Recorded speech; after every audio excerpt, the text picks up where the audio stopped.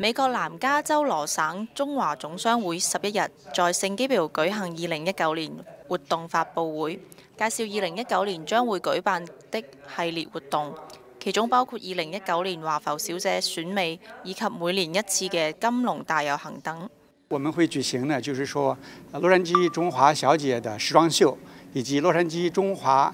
的這個華府小姐的選舉，以及金龍大遊行。今年呢，也是我們呃那個哇那個 Golden Dragon Parade 金融大遊行一百二十年，這個也是非常非常重要的，一百二十年的歷史。我們的金融大遊行在我們給我們來舉行，所以我們感覺也非常榮幸。嗯，希望今今年呢，我們做得更好，給大家更多的不同的呃民族一起來參加，為我們慶祝這個中國文化。二零一九年華埠小姐比賽將於明年一月舉辦。